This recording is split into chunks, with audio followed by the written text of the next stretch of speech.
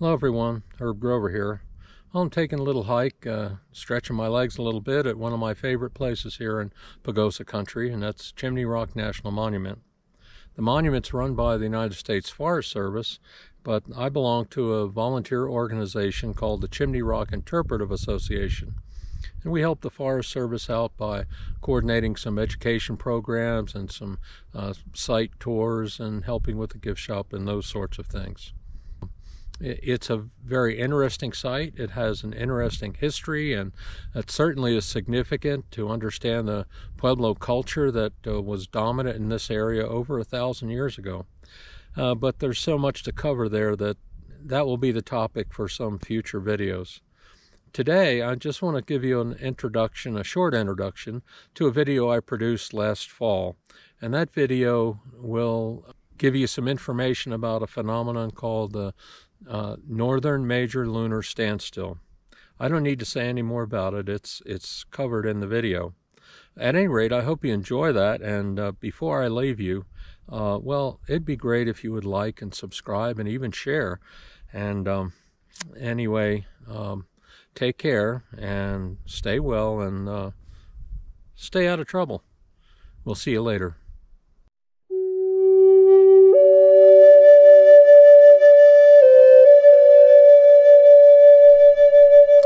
Known for its two prominent sandstone spires, Companion Rock on the left and Chimney Rock on the right, the 4,700 acre Chimney Rock National Monument is the location of at least eight ancestral Puebloan settlements dating to over a thousand years ago.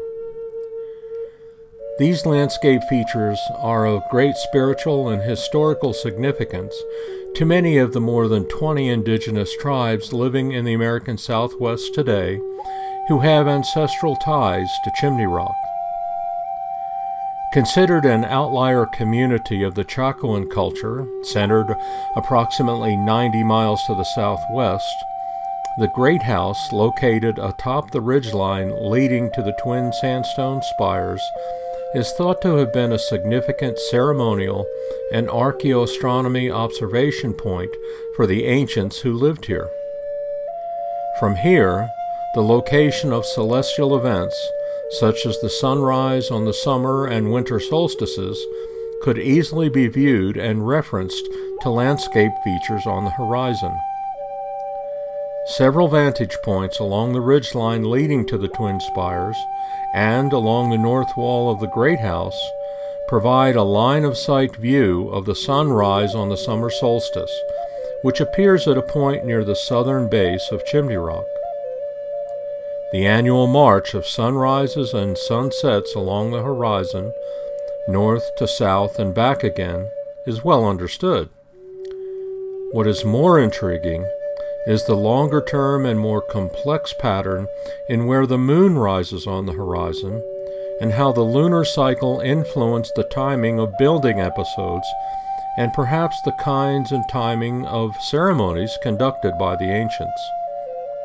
Every 18.6 years, the moon rises a few degrees north of the northernmost sunrise that occurs on the summer solstice and this relationship of moonrise to sunrise remains observable for about three years. This phenomenon is called the Northern Major Lunar Standstill. There is one place in the world that we know of where moon rises during the lunar standstill is bracketed by a significant geologic feature, and that is here at Chimney Rock National Monument. The image of that event shown here was taken during the last lunar standstill about 18 years ago. There is compelling archaeological evidence that many buildings at Chimney Rock and in some other communities were constructed or expanded in accordance with the timing of the lunar standstill. The next northern major lunar standstill will peak in 2023 and 2024 with the full moon presenting itself between the spires during late fall and early winter lunar cycles.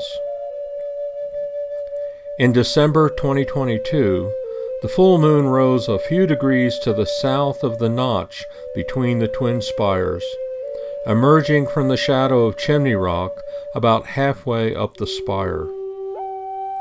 We can only imagine how observations like this might have fueled anticipation by the ancients for the more impressive moonrise the following year, and how this anticipation might have affected their community's seasonal and ceremonial calendars.